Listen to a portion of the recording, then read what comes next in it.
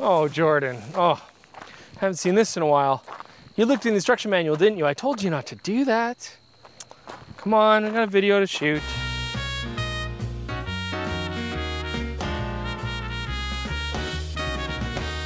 Welcome back to TV viewers. It is Chris Niccolls here, and today we're looking at a very cool device. I have a TechArt LM-EA9. This is their autofocusing adapter to adapt Leica M-mount lenses to Sony E-mount bodies and give them autofocus. Very cool device. Let's deep dive. So for our shoot today, we're at the Saskatoon Berry Farm just outside of Calgary. It's a wonderful place to explore, and we got beautiful light and gorgeous landscapes too. Now this is the latest edition of the TechArt autofocusing adapter. Their LMEA7, the earlier version, it's been a long time. They had one big servo motor on the bottom here, and what it basically does is drives a mechanical helicoid, gives you 4.5 millimeters traverse, and it autofocuses manual focus lenses by interfacing with Sony's PDAF system, and then actually physically moving the lens in and out to achieve focus on the sensor plane. Now that old system had that big bulky motor on the bottom, it extended below below the bottom of the camera. It would interfere with tripod plates. Now this new version uses four motors. They're radially aligned around the lens mount and it really makes it much more compact, nothing sticking out of the bottom. It also should be faster and smoother autofocusing as well. So overall build quality on this new TechArt LMEA 9 adapter is really quite nice. I mean, it's machined beautifully, feels tight on the mount, there's no give, but these are not weather sealed in any way. Keep that in mind. And actually, the front of the helicoid, it's quite open. I wouldn't want to get any dust or grit in there. I'd be really careful about the front of that. Otherwise, though, the focusing motors, I would say, a little bit of an obtrusive sound. here. You can hear it going on here kind of a funny whirring noise, but it's not terrible. It's not super obtrusive when you're shooting. So overall, really nice, really well designed. Now I'm using the latest firmware on this LAEA9 adapter and updating was actually very simple. They actually provide you with this back cap, which also doubles as a USB dock. Micro USB port plugs right into USB on my computer. It's nice that you can then change things on this adapter, update things, and easily program it through that dock when you need to.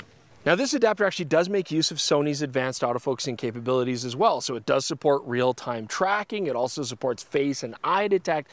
And beyond just basically autofocusing like M-mount lenses, you can use SLR to M-mount adapters so that you can autofocus Canon FD glass or Nikkor uh, F glass. I mean, you know, all sorts of stuff. Beyond that, what does it do for you? Well, it does give you in some cases a little bit more extension to actually work like a macro extension tube. All right, so I got a cute little bee shot here. And this is is a good example to illustrate what this TechArt adapter can do. Right now, it's extended quite out, 4.5 millimeters, and I've set the close focusing on the lens to its minimum. Now, normally the Leica M35 millimeter is kind of around a two foot focusing distance, but right now I'm, as you can see, much closer than that. So I'm getting that extension kind of capability. I wouldn't call it macro, but it's certainly getting it closer than it normally would.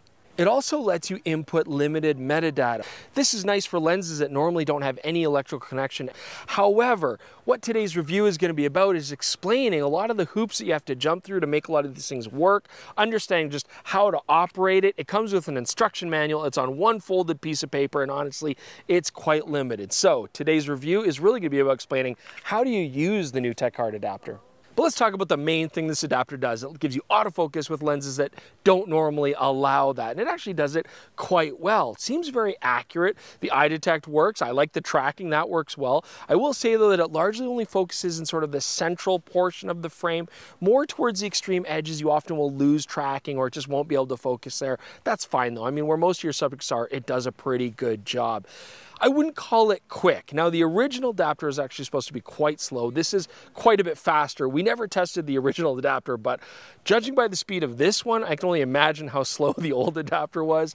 Here, I would say, you know, it takes a few steps. Sometimes you got to push the shutter button or AF on button a few times to get it to really grab on and engage. When it does, it takes steps to actually get there. And so I would say, in portrait situations, this could be really nice, candid, still life, obviously. I find it very effective. Seem good even in low light situations, but I, for tracking moving subjects, you know, kids running towards you, action, it's just, it's too slow to cut it. Now, as far as setting up the lens to do the autofocusing, it's really quite simple in most cases. So if I'm using wide angle lenses like this Leica M35mm f2 today, anything up to around 50 millimeters, you could basically set the focus on the lens to infinity and then just let the TechArt do the rest. And I didn't really find I needed to adjust that. I do also have a Voigtlander 75mm 1.5, and as you go more telephoto, if you set the lens to infinity focus, you actually lose a lot of close focusing distance to the point where you might have to be quite far away from your subject to get it to focus. And so in those situations, it's just a little bit more fiddly. I can always manually focus the lens to a closer range and then let the TechArt adjust from that point. And so that does sometimes work. This all just, again, slows down the entire process. Now TechArt is saying you can basically adapt so many different lenses depending on what mounts you can find on the market to put in front of this thing. But there are weight limitations. So they're saying that you can basically only use lenses up to about 500 grams roughly in weight. You could push a little bit further than that. Maybe the autofocus slows down, makes more noise, but it seems to be working okay.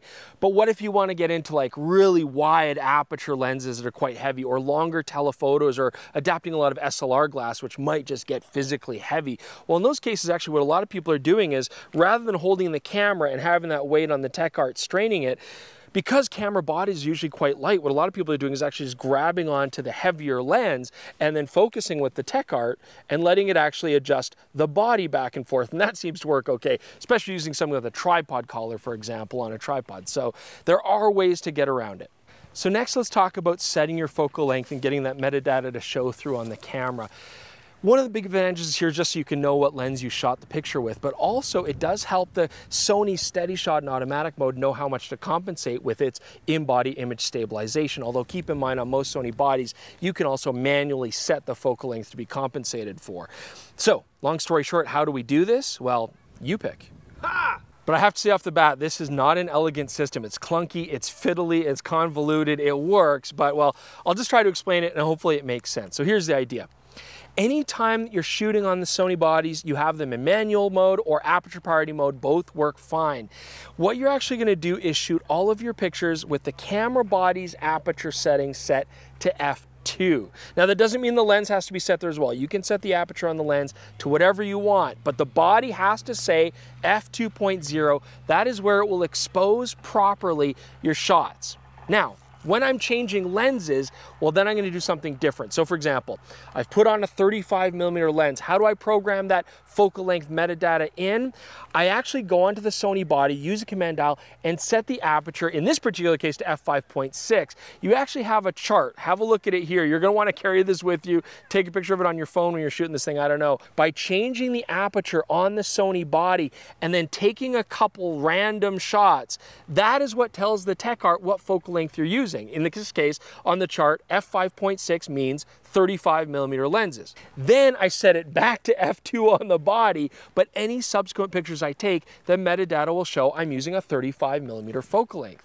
Now, if I change lenses, then what I have to do is go on to that command dial, go to the right f-stop number that will program the TechArt with the right focal length, take a couple shots to program it in, then go back to f2.0 so it exposes properly, and then any subsequent pictures I take will be at that new focal length. And hopefully your brain hasn't exploded already. I know Jordan's looking at me, shell-shocked right now, totally stunned. So, you know, if, if you're still with us here, there's other things that you can do programming-wise by setting different apertures. So, if you go f51 and then take a shot, programs in their normal autofocusing mode, which is for most lens use. But if you go to f57, that will then change it to their slow autofocusing mode, which is supposed to be more compatible with lenses with wider apertures than f1.4. I haven't had a need to use that. I hear that it doesn't really make much difference, but there's two other things you can program. But wait, there's more. No, no more. Jordan, I'm sorry, we've got one more thing here to program. F45, what that will do, whatever your TechArt's extended to, it will park it there and lock it there. Uh, and so this could be really handy if you're trying to close up and you want to have it at full extension, then just park it there. Even if you turn the camera off and then on again, that's where it will be. Otherwise, it would normally revert to infinity focus. However, I find that I don't have to use this. What I'll do is actually program a button on the camera to go between autofocus, manual focus, toggle, and then I can simply autofocus the lens till it's at an extension I want, and then click it into manual focus. That effectively locks the tech TechArt at that distance as well. Either method works. If your nose is bleeding right now and you got like a pounding headache, you should probably stop watching the video and get medical attention.